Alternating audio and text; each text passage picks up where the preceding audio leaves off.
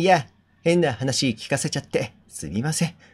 考えてみたら帰国地を探すヒントには全然なってないですね。もう少し調べてみますよ。申し訳ありませんでした。いいえ、とんでもありません。私は慌てて言った。刑事さんにはわざわざ来ていただいただけでももう。本当だよ。ああ、気にしないでください。正直言うと、これ、ついでなんです。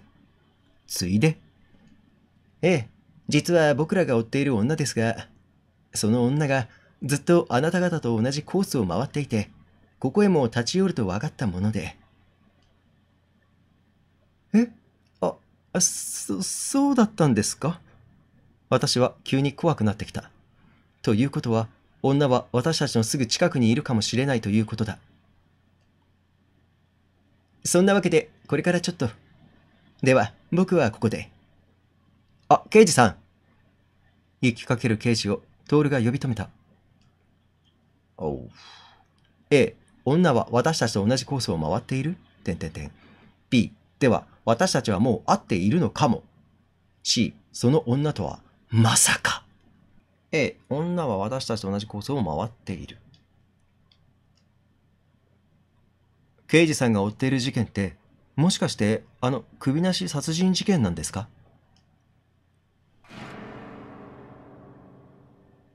結城刑事の顔色が変わった。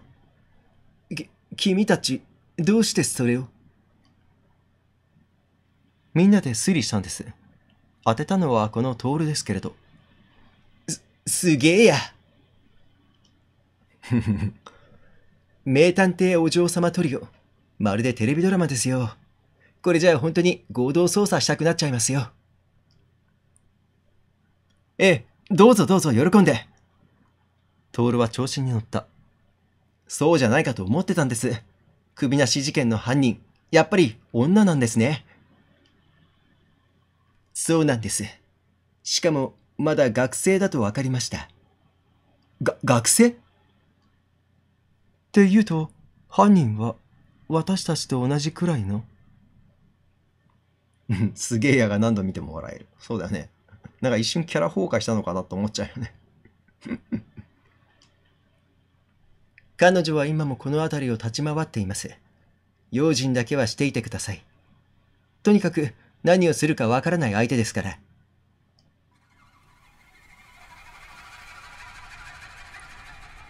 体の芯から鳥肌が立つ。彼女は刃物を隠し持っています。非常に危険な状態です。な、何のために？彼女は何のためにこの辺りを回っているんですか？それは、刑事はちょっと口ごもったが、いや、ここまで話したら言ってしまいましょう。彼女は第二の殺人を犯そうとしています。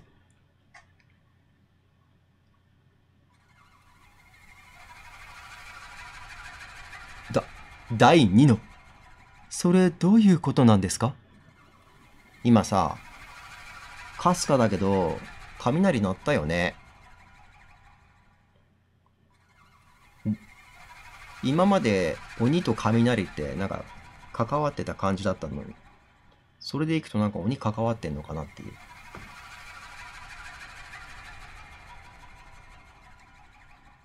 彼女は神経を病んでいます。恋人の首を切り落としたのは自分なのに、犯人は自分から彼を奪った別の女だと思い込んで、そう決め顔で僕は言った。別の女？また雷が轟く。そ、それじゃあ、彼女はその女の人を狙って？残念ながら、我々はまだ狙われている女性も同世代の女性ではないかという程度までしか絞りきれておりません。ですから、念のためご用心を。わ、わかりました。決め顔オンパレード。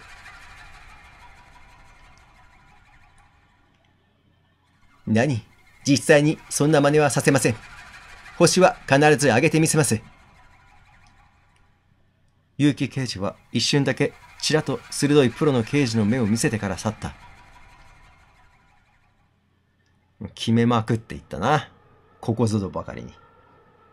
私たちは風の中へ立ち尽くした。なんという展開だろう。あの首なし殺人の犯人が女で、私たちと同世代の学生だった。彼女は今、私たちのすぐ近くにいる。そして、第二の殺人を犯そうとして、ある若い女を付け狙っているのだ。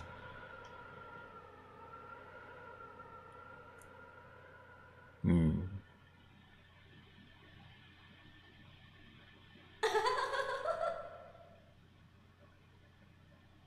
第2部、量第2部終わりましたね。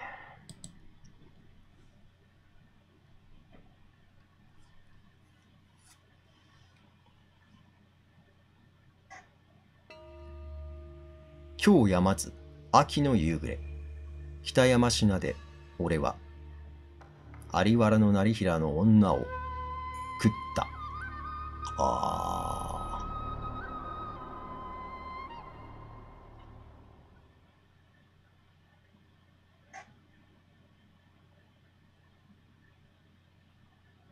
こちたに変えて。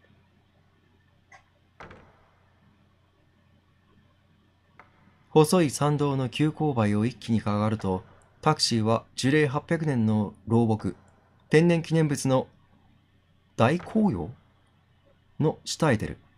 この絵初めて見るんだけど。こちだに阿弥陀寺。こちだにだった。こちだに阿弥陀寺。ここには生きながらにしてミイラとなった常人の促進物があるという常人だっけ？今は石棺に入ってて見られない、あ、間違った。今は石棺に入ってて見られないけどね。商人、ありがとう。商人ね。この寺へは、徹だけが来ていた。ちょっと待って。俺は合ってる。石き、あれ？ちょっと待ってよ。えっと、石棺であってんだよな。お前、石筆って読んだんだけど、石筆ではないんだよね。やべ。野鳥のさえずりを聞きながら、だんだんと象形を上がると、右手に古びた本堂が現れる。多分石棺。おう、日が変わった。わあ、お寺までがミイラだ。夏美がうまい表現をする。今まで見た中で最高に古い。ミイラというより、お寺の化石、ちょっと触れただけでバラバラになりそう。何百年もの山、何これあ、これ、この、この、これは初めて見る字です。山雨山風っていうのなんかもっと違う言い方がありそう。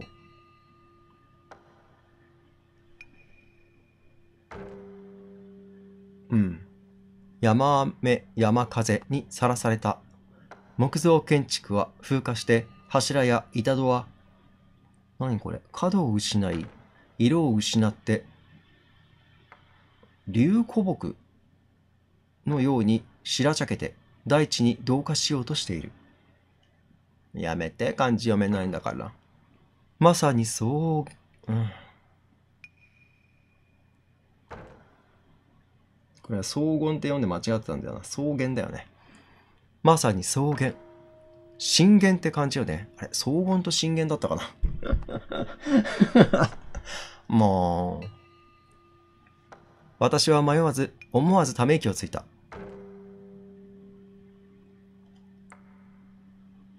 ね、アートしてるでしょ？実に絵になるお寺だよね。口が回らんくなってきた。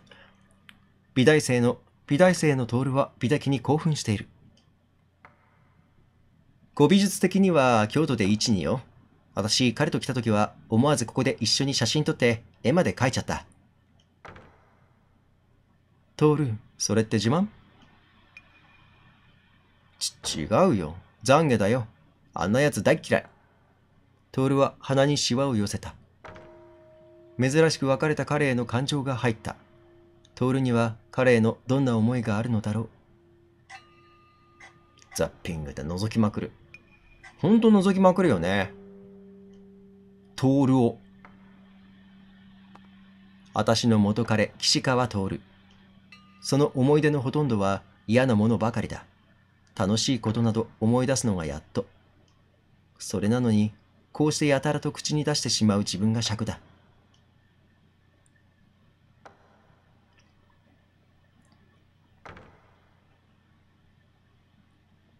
考えてみれば、私たちはまだそれぞれの彼のその後を語り合っていない。あの舞妓姿の尾行者のことをはっきりさせるためには、あれ、させるには、どうしても聞いてみる必要があった。あ、やべ今ね、今一瞬セーブってよぎったのよ。頭の中で。コンマ何秒で。うん。遅かった。A、まずトールから聞いてみよう。B、いや、夏美から聞こう。C、面倒だからいっぺんに聞こう。C でいきますね。面倒だからいっぺんに聞こ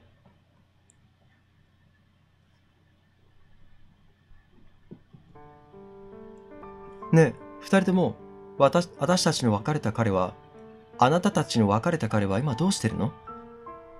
自分から話さないんかいあ、ちょ、まあ、自分はちょっと話さないか。あ、自分のことって言ったんだっけ？夏目はびっくりと足を止めたが、と、徹からお先にどうぞ。え、いいよ。私も後からで。こらこら、二人とも何言ってんの？もう隠すほどのことでもないでしょ？まあ、そうだけど。じゃあ、私から。徹が唇を切った。私は全然知らないよ。あんな奴、もう他人だよ。どうせまたどっかの女のとこでも転がり込んでるんだろうさ。きゃ、なんだ？じゃあ、徹の彼って同性癖があるんだ？夏美が笑った。徹もそれやられたんだね。え？夏美もって、お前もそうだったのか。はい、もろべた。夏美は明るく手を挙げた。僕が親と喧嘩して家飛び出して部屋借りたらのこのこついてきてそのまま居ついちゃった。完璧にマザコン同性男。あいつが急にいなくなるまではずっともろべた。嫌な奴だったけど、僕は惚れてた。彼、今はどうしてるの？うーん。夏美はなぜか口ごもって。後で言う。アリサから言って。私の彼は死んだわ。え？事故で。ひどい死に方だったみたい。私は初めてその話をした。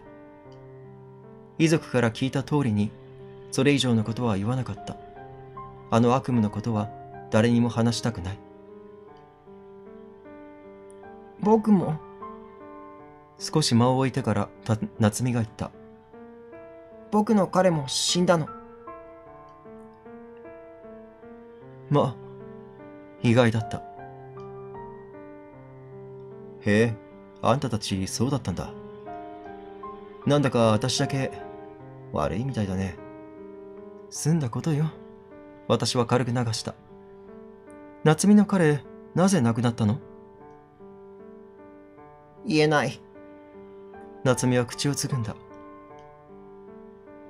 おいおい。徹はオーバーにおどけた。それはないだろう。みんなで仲良く告白ごっこしてんのに、そうよ、夏美。なぜ言えないの？二人とも、どうせ信じないから。変なことを言う。信じるわよ。言って。わかった。じゃあ、言う。夏美は顔を上げた。彼、殺されたの。京都で、誰かに。去年の今日。まあ、思いがけない答えだった。本当かよ、おい。でも、まだそのことは誰も知らないの。え？じゃあそれを、夏美がなぜ知ってるの？教えてくれたから。彼の霊が僕に。私は黙り込んだ。ほら、やっぱり。だから嫌だって言ったんだ。だが、夏目は怒った風もなく、今まで通りよくはしゃいでは笑っている。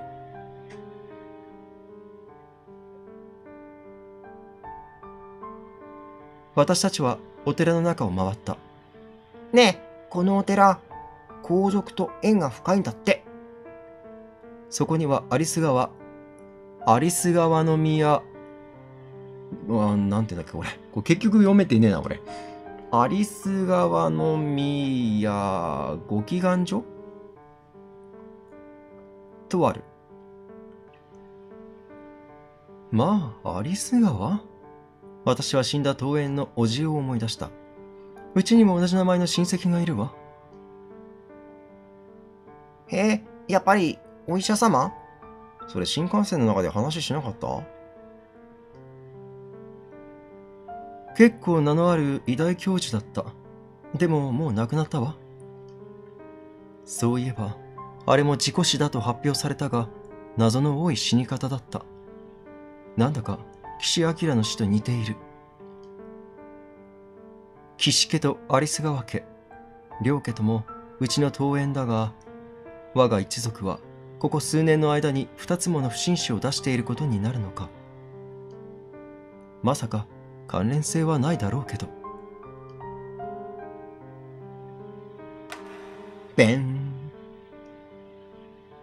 首。私はまた思い出してしまう。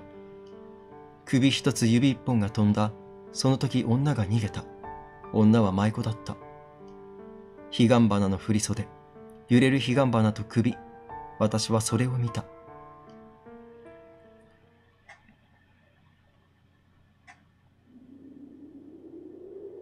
表へ出ると風が冷たい。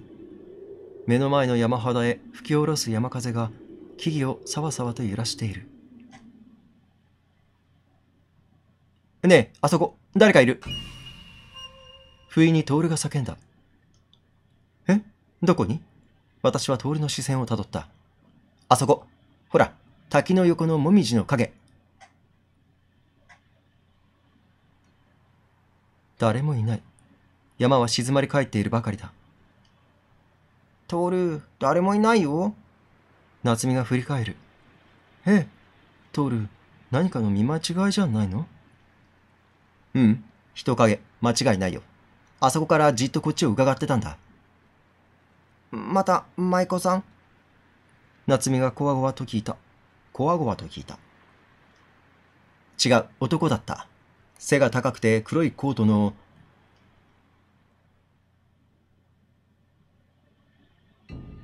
の？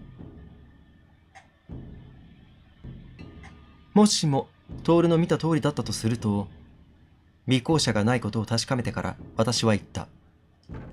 私たち二人の人間に付け狙われていることになるわね。舞妓姿の女と黒いコートの男。う、二人は僕たちをどうしようとしているの？怖いからといって夏目は後ろへ乗り込んできている。どういうことだ？二人とも考えてみて。まずあの舞妓よ。最初はさりげなく私たちの前をちらつくだけだった。それが原稿案まで来ると、いきなり私たちの前へ現れて、睨みつけた。うん、その通り。彼女の狙いは何だと思う？明らかな脅し、怖がらせようね。これはストーカーの手口だわ。え？ストーカー？そうよ。異論ある？ああ、うん。オッケー。どうぞ。トールは私に弱いらしい。ふん。ストーカーは卑劣な犯罪よ。陰湿で陰険。女として絶対に許しちゃならないわ。うん。それで？もともとストーカー犯っていうのは異常なものだけれど、特にこのストーカーは危険だと思うの。え？その心は？あの舞妓姿よ。わざわざあんな格好でストーカーする人間がいると思う？そそりゃ、確かに。で、でもアリサ、まだストーカーかどうかは、トート院じゃ出なかったし。夏美が幾分おずおずと言った。あの時は結城刑事がいたからよ。私はピシャリと跳ねつけた。跳ねつけて。それから夏美、出るはやめてね。相手はお化けじゃないんだから。そこで、ではこのストーカーは誰なのか？男のケースと女のケースが考えられるわね。え、男が？あんな格好違うわ。その場合は、女はただのお手伝い共犯。トール黒いコートの男を見たんでしょ？あ、トールはそうかというように口を開けた。さあ、三人、犯人探しよ。まず男のケースから考えていきましょう。私の彼も、私の彼、岸徹は、間違った。私の彼、岸明は、もう死んじゃってるから除外するとして、徹から聞くわね。どう？徹の彼って、こういうストーカー行為をやりそうな人？ああ、性格的にはありだね。けど、状況的にはなし。どういうこと？だって、私、ストーカーやられるほど愛されちゃいなかったもの。トールストーカーのエネルギーって愛ではなくて憎悪なのよ。今でも彼にあなたに対する憎悪が残っているようなことは？ないね。トールはきっぱりと言い切ってから、ああ、と思う。え？考えてみたら私、彼のことをそれほど知ってるわけじゃなかった。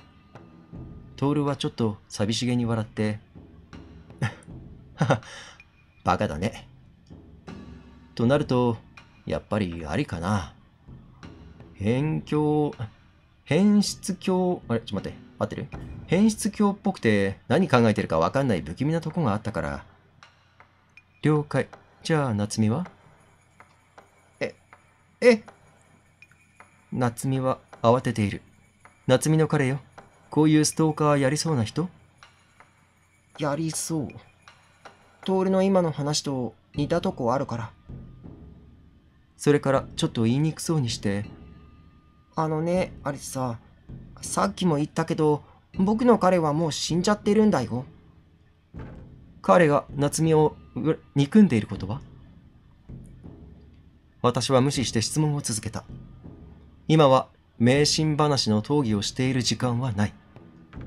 うん、わかんないけど、憎んでたかも。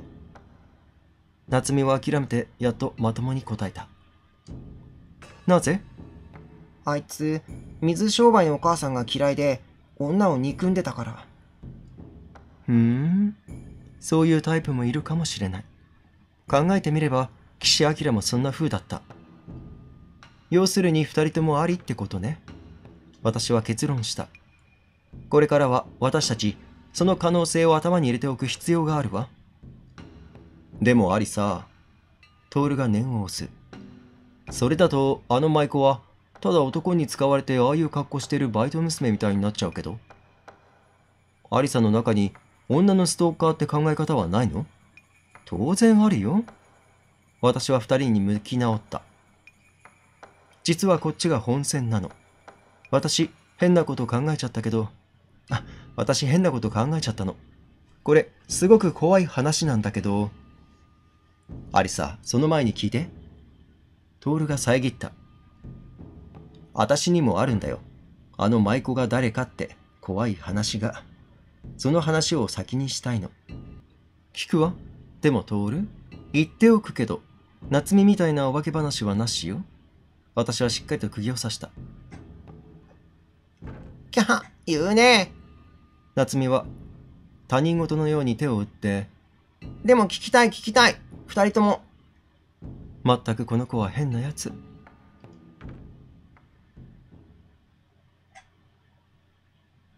もう怖いわ。